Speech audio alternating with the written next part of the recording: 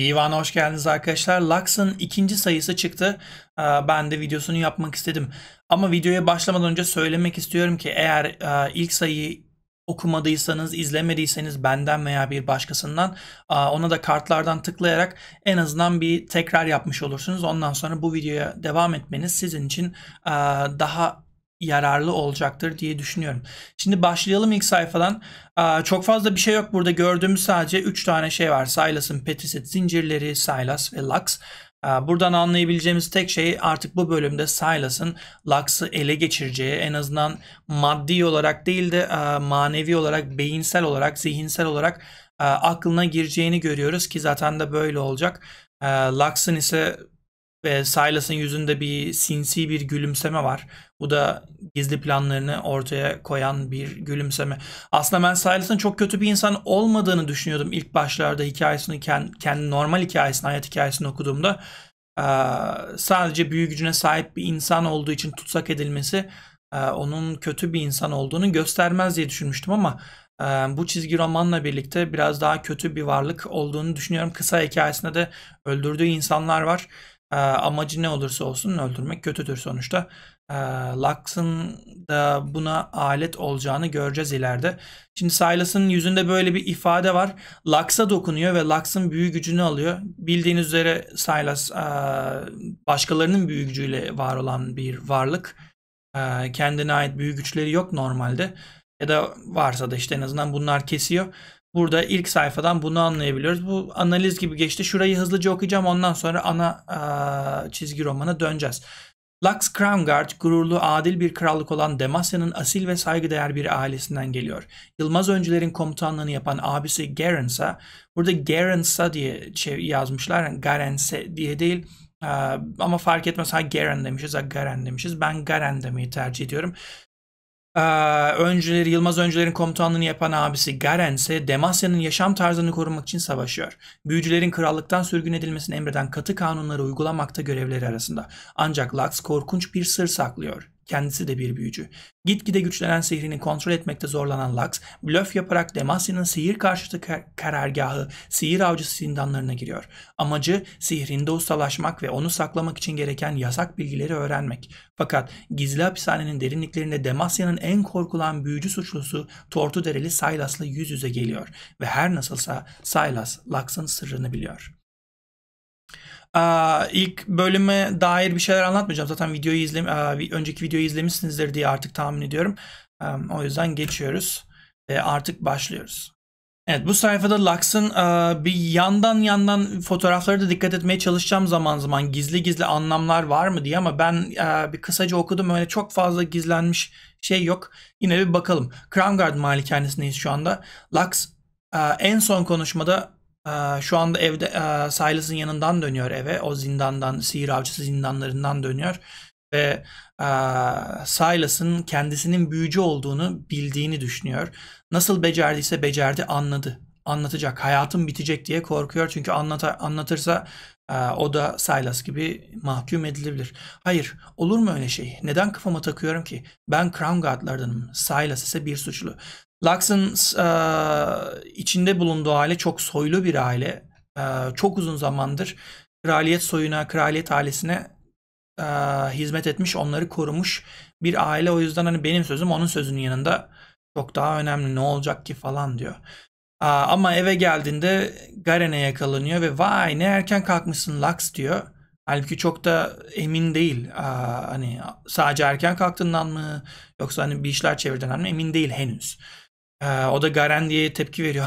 Garen falan yapıyor. Evet ışık ışık getiren görevlerim var. Lanetli çocuklar diyor. Ee, büyüye maruz kalmış büyü yapabilen çocukları çocuklarla ilgilenen bir grup bu ışık getirenler. Lux da orada görev yapıyor. Hmm, ne fena çok zor bir yaşamları olacak diyor Garen. O da kendisine e, ithafen benim de çok kötü bir yaşamım olacak. Özellikle de o suçlu sırrımı açık ederse diyor. Ondan sonra bu çizgi romanda çok sıkça olan bir şey. Öncekinde bu kadar yoktu. Sürekli bir sahne geçişleri var. Çok hızlı sahne geçişleri var. Her sayfada bir tane var. Bazen iki tane var. Burada da görüyoruz bunu. Şimdi Lux haftalık ziyaretlerinden bir tanesini yapıyor. Sihir avcısı zindanlarına geri dönüyor. Burada oranın komutanı biraz üzgün çünkü Lux'ın da bir işler çevirdiğini düşünüyor. Ve Lux'ın Tortu Dereli Silas'ın yanına gitmesine çok da sıcak bakmıyor ama yapacağı bir şey yok. Sonuçta Lux çok soylu bir insan ve onun dediği şey bir emir. neyse Silas'ın yanına geliyor. Aa, geçen sefer öyle kaçtıktan sonra bir daha gelmezsin diye düşünmüştüm diyor Silas. Evet panikledim herhalde. Belki benim yüzümdendir. Kibarlığı tamamen unuttum. Neyin peşindesin peki kızım diye anlamaya çalışıyor burada Silas Lux'ın neden geldiğini. Bir sonraki sayfada buraya ışık getirenler adına geldim. Ö görevim ışığı Demasya'nın her köşesine derken Silas diyor kes palavrayı bana derdini anlat niye buradan geldin. Sus diyor bana yalan söyleme kızım kör değilim. Karşımda bir büyücünün asla girmek istemeyeceği yerin derinliklerine girerken büyü gücünü saklayan genç, genç bir kadın var. Ondan sonra kendi içinde düşünüyor. Bence bir şey arıyor hem de umutsuzca. Burada Silas'ın bu sayfada en azından biraz daha samimi bir yüz halinde olduğunu görüyoruz. Bu tamamen e, Lux'ı kandırmak için. Ondan sonra istediği ne diye hala sorguluyor içinden anlamaya çalışıyor. Bir insan neden buraya gelir ki falan diye. Ve tabi buraya gelebildiğine göre de sıradan bir insan olmaması gerek. Veya görevlendirilmiş biri de olabilir. Henüz emin değil Silas bu kızın neden burada olduğundan. Nasıl anladın diye sorgulamaya başlıyor. Dün yani içeri girer girmez kim olduğumu nasıl anladın, nasıl yaptın diye soruyor. Ondan sonra Silas birkaç ufak bilgi veriyor. Kızla biraz yakınlık gösteriyor ki o da ona yakınlık göstersin. Yıllardır karanlıktaydım. Sonra gördüğüm en parlak ışık içeri girdi. Fark etmek zor olmadı. Ama asıl merak ettiğin kim? Silas hala konuşan. Kimlere söyleyeceğim? Söylediğimde sana ne yapacaklar? Bunu merak ediyorsun değil mi? Lütfen kimseye söyleme ne istediğini söyle yeter diyerekten uh, Lux küçük şımarık hareketlerine başlıyor. Ben soyluyum ben sana istediğini veririm zenginim falan filan diye Silas da bunu tiye alarak gülüyor. Ha ha ha sen soylusun değil mi? Her sorunu parayla çözmeye nasıl da alışıksın. Ama para lanetini gizleyemez. Nasıl kontrol edeceğini öğrenmelisin. Ailen o kaymak tabakada kalamaz sonra. Hayatımı hiç bilmiyorsun diye Silas, aa, Lux biraz orada bir tetikleniyor biraz kızıyor mızıyor ama madem o kadar kafan iyi çalışıyor biraz da kendini ve neden bu zindanda olduğunu sorgula o zaman diyor. Yani Silas da haklı olarak hak veriyor biraz. Neden burada oldum ama? Evet üstüne kafa yorulması gereken bir konu diyor. Ondan sonra uh, Lux bu adam hakkında bildiklerini söylüyor. Sen katilsin diyor. O da diyor ki bana böyle mi sesleniyorlar? Uh, sana görgü kuralı öğreten bütün o lordların ve lady'lerin dilindeki adım bu mu? Hayır benim suçum büyücü doğmaktı diyor. Ben katil olduğum için burada değilim. Sırf büyücü olduğum için buradayım diyor. Ondan sonra geçmişten bir kesite gidiyoruz. Burada Silas'ı bulmak çok zor olmasa gerek bu olduğunu sanıyoruz. Küçük bir çocuk sonuçta hikayenin resminde ortasında ve diğer ışıklılar da Silas'ın büyü gücünü hissedebildiği insanlar. Açıklamasını yapıyor şimdi Laksa. Her zaman doğaüstü bir yeteneğe sahiptim. Çevremdeki dünyada sihrin bulunduğu her yeri görebiliyordum. Ama Demasya yeteneğime lanet dedi. Bir şekilde öğrenmişler. Nasıl öğrendiklerini falan da açıklasalar güzel olurdu. Belki daha sonra bir hikayede bahseder. Yoksulduk ama ailem ailem ülkesine daima güvenmişti. Teslim olursam bize iyi davranılacağını sanıyorlardı. Başta haksız çıkmadılar. Sihir avcıları bana aramızda yaşayan büyücüleri bulma işini verdi. Yani Silas bu X-Men'de falan da vardı. Bazıları sihir gücünü hissedebiliyor. Aa, ve bu da sihir kullanabilen insanları bulmasını ve aa, onları yok etmelerini veya ne bileyim tutsak etmelerini sağlıyor. Sefil hayatım boyunca ilk defa bu krallığa gerçekten ait olduğumu hissediyordum. Burada e, Silas'ı göremiyoruz. Bu Silas olabilir çünkü küçük bir çocuk. Aynen muhtemelen budur. Diğerleri ise e, sihir avcıları birini buluyorlar ve ele geçiriyorlar. Ama zamanla mahvettiğim yaşamlar yüzünden büyük suçluluk duymaya başladım. Bir gün onunla karşılaştım. Sezdiğim en güçlü büyücüydü. Yıldırım gücüyle dolup taşıyordu. Güçlü bir kız varmış burada. Ben bunu da hikayeden bir şekilde uydursalardı da hikayeden birini koysalardı keşke çok daha iyi olurdu. Ama bunun hikayeden bildiğimiz hmm, League of Legends evreninden bir karakter olmadığını birazdan öğreneceğiz. Onu ihbar etmeye yüreğim el vermedi diyor. Üstlerim geldiğinde ise onları durdurmaya çalıştım. Beni zorladılar. Sahip olduğumu bile bilmediğim güçler kullandırdılar. Sonunda herkes öldü. O zamanlar çok gençtim. Çok da korkuyordum. Burada söyleyebileceğimiz fotoğraflardan bir detay var. Bu gördüğünüz yüzlerindeki şey emin değilim. Petrisitten yapılma bir şey olabilir veya başka bir maddeydi emin değilim ama petrisit olma ihtimali çok yüksek. Bu sihir avcıları bu maskeleri takıyor ve vücudunun bazı yerlerinde de sanırım bunlardan var. Bu tıpkı Silas'ın nasıl büyüsünü kontrol etmek için kullanıyorlarsa o petrisit e, kelepçeleri, zincirleri. Bunlar da karşısına bir büyücü geldiğinde etkiyi azaltmak veya tamamıyla etkiyi yok etmek için e, sihir avcılarının kullandığı e, itemlar, nesneler dediğim gibi petrisist olma ihtimali çok yüksek ama yani bunu bir görsel amaç olarak kullanmıyorlar tamamen işlevsel olarak kullanıyorlar. Çok sevdiğim ülkem bana sırtını dönmüştü. Yakala, yakalandığımda artık her Demasyalı adımı biliyordu. Tortu Dereli Saylas, ülkenin en tehlikeli büyücüsü. Burada artık um, tutsaklık yılları başlıyor. Çok uzun sürecek bir tutla, tutsaklık süreci burada başlıyor. Sonra Lux üzülüyor. Ah bu hikayeyi duymamıştım. Ondan sonra e, Silas diyor. Çünkü Demasya anlattırmıyor diyor. Sansürlüyormuş Demasya. Ama tabii yani Demasya tarafından da hak verilecek bir yer. Onların mantığıyla hak verilecek bir nokta yani. E, o yüzden buyur. Bana katil de ve ayrıcalıklı konumun seni kurtaracağı için sevin. Ben olanlara çok üzüldüm ama benim yaşamımı da hiç bilmiyorsun. Her gün korku içinde yaşamayı bilmiyorsun diye şey yapıyor. Ondan sonra elinden a, eldivenini çıkarıyor ve ışığını gösteriyor. Burada Silas'ın yüzü değişiyor artık. A, tam olarak göstermese de bir şaşkınlık, bir a, sevince dönüş olacak yakında bu, bu yüz ifadesi. Gerçek kimliğimi her an sak, saklamak zorunda olmayı, işte bunları bilmiyorsun diyor. Dur kızım sana yardımım dokunabilir belki diyor ve artık hmm, artık iyice iyice iyice bileniyor Silas. Çünkü çok uzun yıllardır burada ve yanına gelen çok fazla insan yok. Yanına gelen belki de çok uzun yıllardır, yılını da söyleyeyim hatta 12 yıldır e, yanına gelen belki de ilk büyücü Lux. O yüzden bunu kullanması lazım, zekice davranması lazım ve kalbine aklına iyice girmesi lazım. Yardım e, etmek istiyor çünkü estemek istemiyor. Kızın yardıma ihtiyacı olduğunu düşünüyor çünkü zor durumda olduğunu söyledi Lux. Buradan yürüyecek Silas. Sen ne yapabilirsin ki diyor. O da diyor ki yine gel diyor. Sana kontrol etmeyi öğreteceğim diyor. Direkt kızı korkutmaya gerek yok. Haftalık ziyaretlerinde gel yavaş yavaş diye 10 dakika, 15 dakika, 20 dakika muhabbet ederiz. Orada da ben sana yardım ederim diyor. Sonra Kraliyet Sarayı'na dönüyor. Aa, ilk hikayede sadece Jarvan'ın ya da Jarvan ama hani Jarvan diyelim biz yine e, hikayede sadece adı geçmişti. Tiana Gram Crownguard e, halası Lux'ın ve Garen'in e, Lux'ı um, Jarvan'la evlendirmek istiyorlardı. Çünkü eğer Lux kralla, kralın oğluyla evlenirse bir gün kral olacağı için veya şu anda prenses olacağı için, prensin eşi olacağı için büyücü olsa bile onu kimse sorgulayamaz. Ona kimse bir şey diyemez ve kolaylıkla bunu gizleyebilirler diye böyle bir evlilik yapmasını istiyorlardı. Emin emin değiller Lux'ın büyücü olduğundan ama çok fazla şüpheleniyorlar. Çünkü çocukluğundan beri çok fazla şey gördüler. Garen çok fazla şahit oldu bu tarz şeylere. Bunu unutmak istiyor. Hatta Garen'in kısa hikayesinde de bunu görebilirsiniz. Lux'ın büyü yaptığını birçok kez şahit olmuş. Ama bunu buna inanmak istemiyor. O yüzden aklında bunu unutmayı tercih ediyor ve bir bakıma da bunda başarılı oluyor. Şimdi Garen ve uh, Jarvan'ın konuşmasına şahit olacağız. Görüşme lütfunda bulunduğunuz için teşekkür ederim efendim diye giriyor ama Jarvan diyor Garen yapma şöyle diyor. Adım Jarvan kaç yılda tanı kaç yıldır tanışıyoruz sonuçta diyor. Da değil mi? Bana da garip geliyor aslında diyor.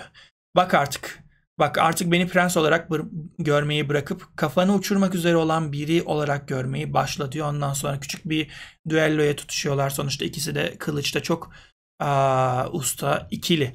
Senin için ne yapabilirim? Buraya sadece dayak yemeye gelmediğini biliyorum. Evlenmek istediğini duydum diye konuyu açmaya başlıyor Garen.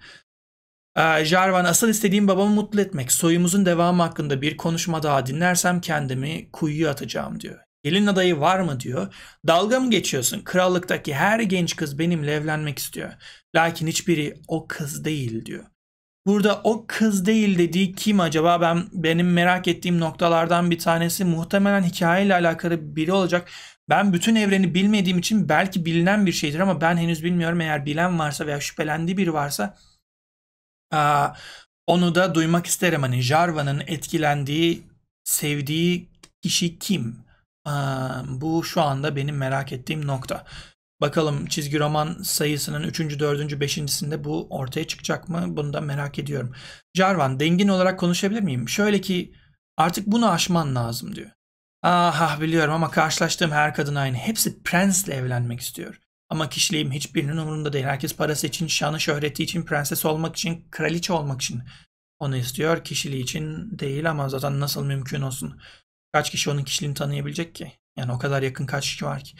Peki ya güvendiğin biri olsaydı seni zaten tanıyan biri diye burada konuyu açıyor ve Jarvan'ın son görüşümüz olacak bu sayı 2'de.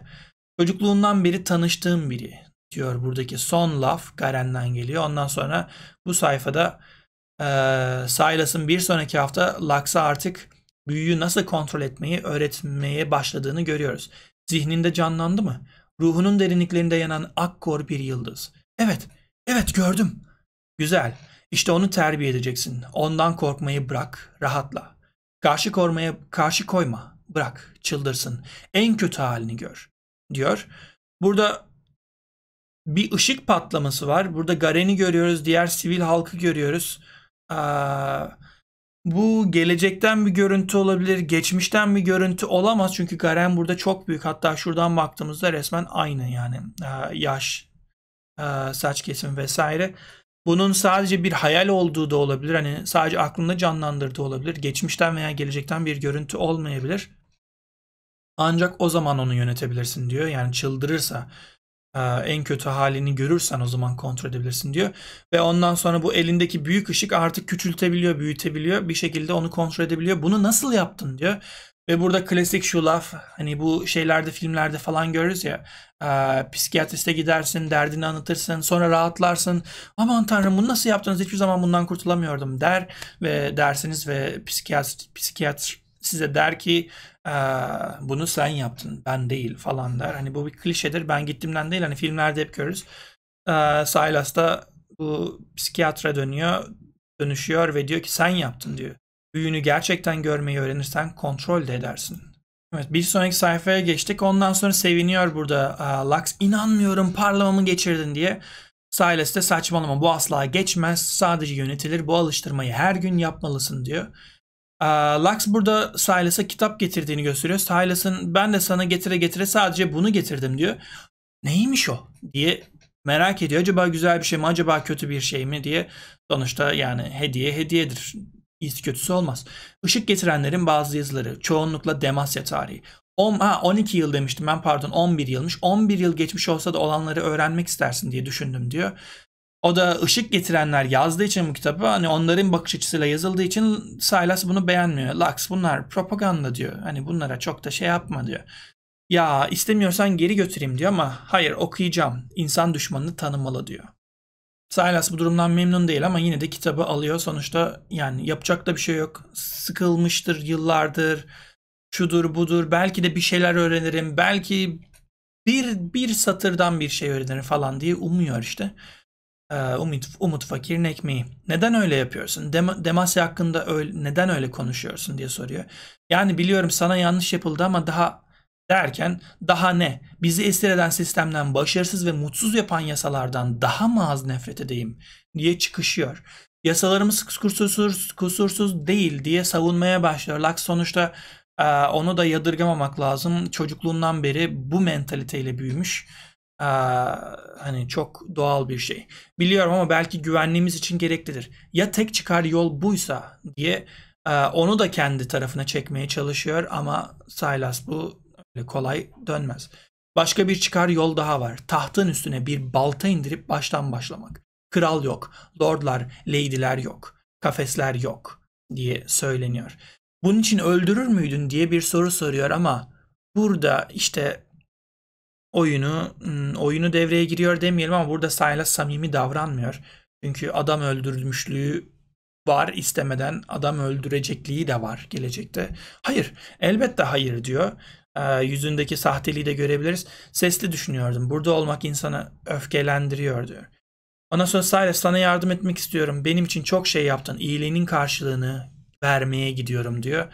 E, mutlu, mesut, güzel bir arkadaşı olduğuna olduğunu düşünüyor Lux ve daha da fazla bu adamla iletişimde kalmayı düşünüyor. Aslında e, kontrol etmeyi öğrendi. Bundan daha fazla belki Silas'tan alacağı yok ama tek alabileceği onun daha fazla e, arkadaşlığı. Çünkü Lux yalnız hissediyor kendini. Yanında onun gibi insanlar yok. Onun gibi büyü yapan insanlar yok. E, diğerleri ondan çok farklı olduğu için Silas e, Silas'ı ona çok yakın hissediyor. Burada da Lux'a hak veriyoruz. Ondan sonra burada kütüphanede ve kitap seçiyor Silas için.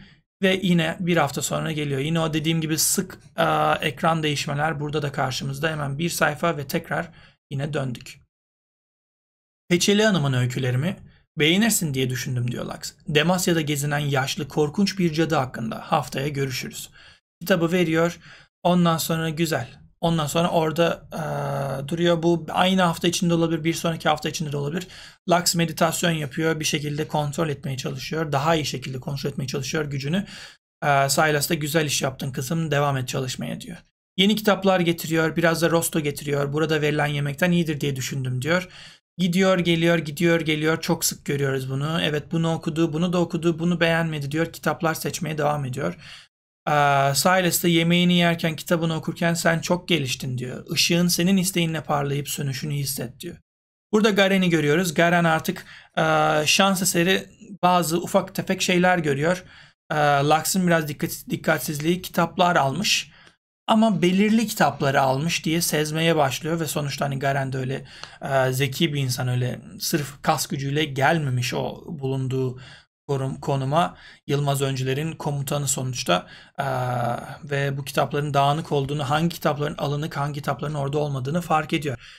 Sonra tekrardan e, zindanlara dönüyoruz. Büyüleyici. Bu Durand diye okuyalım. Ya da Durant de olabilir ama Durand diyelim biz. Bu Durand denen adam çok büyüleyici diyor ve Lux da diyor ki ne olmuş ona diyor. Ee, deli gibi yemiş, deli gibi kitap var ama çok saçma. Bu Lux haftada bir geliyor buraya bu adam, bu Lux burada değilken içeri girip bu adama yemek verenler var. Bu adamı tuvalete çıkaranlar var. Bir şekilde e, bu adama iletişim kuranlar var artık nasıl yapıyorlarsa. Kimse gelip de görmüyor mu bu kitapların e, burada olduğunu falan filan. Gerçi yine şöyle de diyebiliriz hani Lux'ın bunu getirdiğini, yemek getirdiğini biliyorlar. Sırf işinden olmamak için belki de susuyorlardır. Bir şey demiyorlardır ama e, bilemiyorum sonuçta gerçek dünyamızdan düşünüyorum. Böyle bir şey olsa o guardlardan bir tanesi düşünür ki e, milliyetçi bir adam olduğunuzu düşünün. E, büyüden nefret ettiğinizi düşünün. Dersiniz ki kim olursa olsun ben görevimi de feda ediyorum. Kimse böyle büyüyle insanları öldürmüş birine yardım edemez. Ben üstlerime söyleyeceğim diyebilirlerdi. Neyse.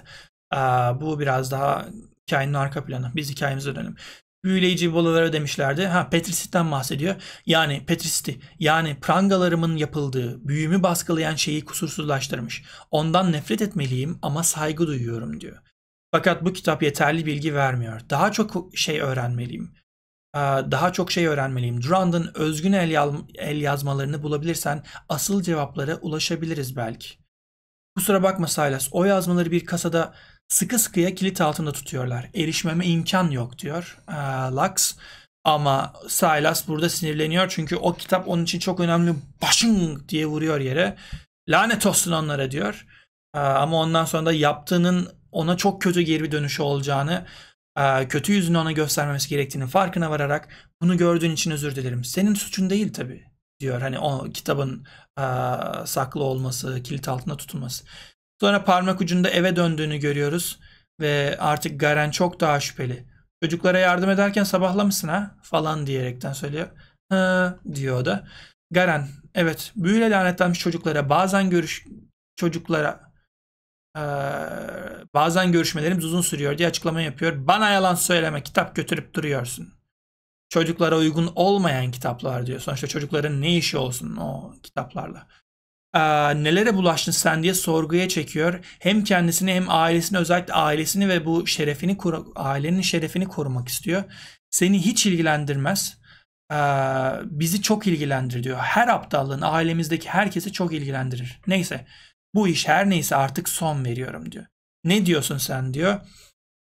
Ağzındaki baklayı şimdi çıkaracak. Prens Jarvan'la konuştum. Babası evlenmesini istiyor. Seninle evlenmesini ayarladım. Ne? Ne hakla?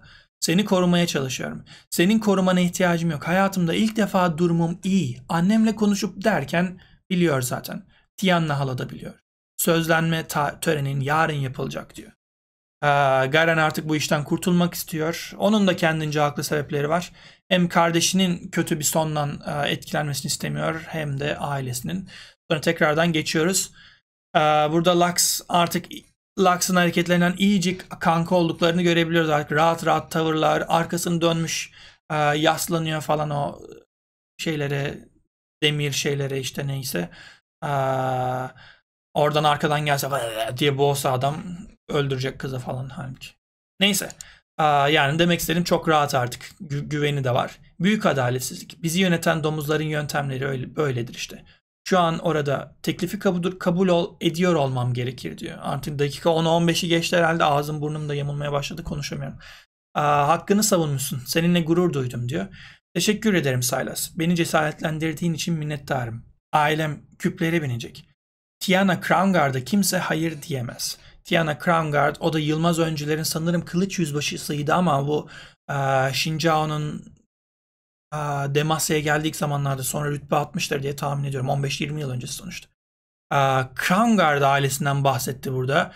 Tiana Crownguard'a kimse hayır diyemez diyor ve şu anda Silas için iyice artık şarteller böyle bım bım bım bım bım atıyor ve artık bu kızın iyice onun için önemli olduğunu anlıyor. Crownguard mı diyor emin olmak istiyor. Soyadım kuşaklardır krala hizmet ettiğimiz için verilmiş. Crown şu kralların başında taktığı taç. Guard ise korumak. Yani nasıl diyelim taç koruyucusu gibi bir şey oluyor Türkçesi. Hani tacı koruyan insan yani krallığı koruyan anlamına geliyor Crown Guard. O yüzden e, yüzyıllardır da kuşaklardır da bu krallığı korudukları için de bu, yüz, bu, bu, bu, bu soyad onlara verilmiş bu haliye.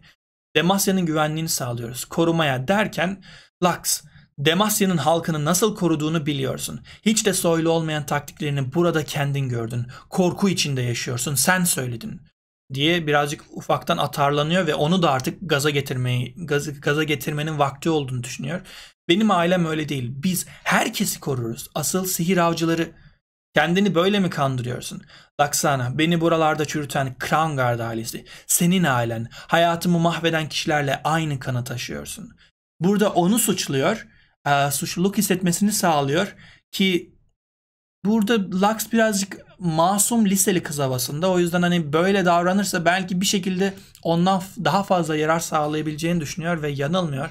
Ben biraz daha Lux'ın zeki olmasını biraz daha sonuçta Lux sevilen bir şampiyon ve hani seveni çok. Bunun biraz daha zeki bir şampiyon olmasını isterdim. Böyle listeli şapşal kız havasında olmasaydı daha iyi olurdu. Ne ne diyeceğimi bilemiyorum diyor. Şu anda sayfa 9'dayız. Ona geldik. Bir sonraki son sayfa olacak. Sonra aralarındaki konuşma devam ediyor. Şu sayfa farklı olsa da onlar hala orada konuşuyorlar. Bunu ne yapsam telafi edemem diyor. Ailesinin hatasından bahsediyor. Yani onu içeri tıkmalarına bahsediyor. Silas'ta yapıl- yapabileceğin ufak bir şey var diyor. Sihir avcılarının kasasındaki Durand el yazmaları diyor. Ee, bir yolunu bulursun sen onu almak için diyor. Ve burada Lux'ın gizlice oraya gittiğini görüyoruz. Ee, sihir avcılarının kasasındaki Durand el yazmalarını bışık diye e, sihriyle patlatıyor, alıyor ve burada Garen'i görüyoruz. Garen arkasından geliyor, elinde parşömen var. Bunu iyi gizle diyor. Aa, inanamıyorum. Gerçekten gidip almışsın diyor. Sanıyorum Silas bile bu kadarını beklemiyordu. Ne yaptığımı fark etmeleri an meselesi. Bunları hemen geri götürmeliyiz diyor. Ee, sen orayı patlattın ama nasıl telafi edeceksin? Hani normal bir kitap alıp koymak olsaydı tamamdı belki ama geri götürse bile biraz sıkıntı. Neyse tam olarak ne arıyorsun diyor. Bu parşömeni a, inceliyor. Burada Galio'nun resmini görüyoruz. Galio'nun yapılış a, heykel olayını görüyoruz. Sihir yok edilmiyor, aksine emiliyor. Dev bu sihri daha sonra kullanıyor diyor. Yani Burayı sonra anlayacağız gerçi o yüzden hemen açıklamayalım. Hmm Galio mu? Hmm eh, evet Galio'yu biliyorum. Ne olmuş ona? Durand'ın Petrisit'ten devi. Gerçekten inanılmaz bir esermiş.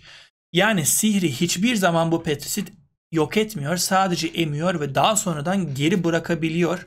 Ama bunu kim yapabiliyor? Silas yapabiliyor. Herkes değil. Ve elinde de Petrisit'ten zincirler var. O sihri tutup daha sonradan aktaracak. Emiliyor. Daha sonra kullanılıyor diyor. Anlıyorum diyor bu da. Anlayabiliyorsam kontrol ederim. Bitirdiysen bunları yerine götüreyim hemen diye aceleci davranıyor Lux. Sonuçta korkuyor. Evet elbette Lux sana. Ebediyen borçluyum. Aa, evet elbette. Laksana sana ebediyen borçluyum. Bana çok şey öğrettin. Aa, burada elini uzatıyor, güzel bir gülümseme takınıyor, yakışıklı bir gülümseme takınıyor.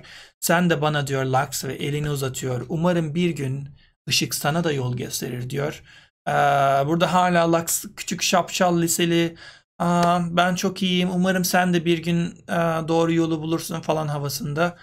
Hala ışıktan ışıktan bahsediyor. Sanırım gösterecek diyor orada imalı bir şekilde çünkü senin ışığınla bir şeyler yapacağım diyor. Lux'ın burada utandığını görüyoruz sadece bir el sıkışmasıyla. Ee, vardır ya böyle küçük kızlar yaşça büyük erkeklerden hoşlanır falan. Lux'ta da bunu, burada onu görüyoruz. Ve burada bir deneme yapıyor. Ee, Silas duvarı bışınk diye Lux'tan aldı. Büyü gücüyle yok ediyor. Tek bir dokunuş daha yeter diyor bütün sonraki bütün olayı çözmek için. Sonraki sayı ise ağır ceza, ağır bir ceza olacak. Um, buraya kadar izlediyseniz arkadaşlar hemen bir şey söylemek istiyorum. Uzun uzun anlatıyorum. Bu biraz da analiz videosu, kişisel görüş videosu. Uh, tam olarak uh, yani hani sadece okumuyorum. Sonuçta siz de okursunuz. Bu videoyu yapma olayım benim biraz da yorumlamam. Siz de katıldığınız, katılmadığınız, güzel olduğunu düşündüğünüz, olmadığınız bölümler varsa lütfen yorumlarda belirtin. Ki kötü yerler varsa ben de bunları telafi edeyim. Dislike atmak yerine dislike atın eğer beğenmediyseniz. Bundan kesinlikle gocunmuyorum. Sadece neden attığınızı söyleyin ki dediğim gibi ben bunlardan ders çıkarıp ders çıkarıp kendimi e, geliştirebileyim. Bu ikinci benim e, deneyimimdi bu çizgi roman serisinde. O yüzden adım adım daha iyiye ulaşacaktır. Daha adım adım daha akıcı olacaktır diye düşünüyorum. Bir sonraki sayı sanıyorum bir ay sonra gelecek. 4-5 ay sonra gelecek. Yama sonrası gelecek. 4 hafta sonra olabilir. 5 hafta sonra olabilir. Bir sonraki sayı çıktığında 1-2 gün içinde onu da incelemesini yaparız. Analizini beraber yaparız.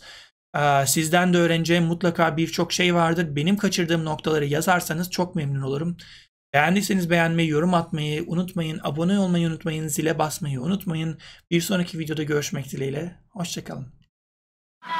And now I know my heart is a ghost town.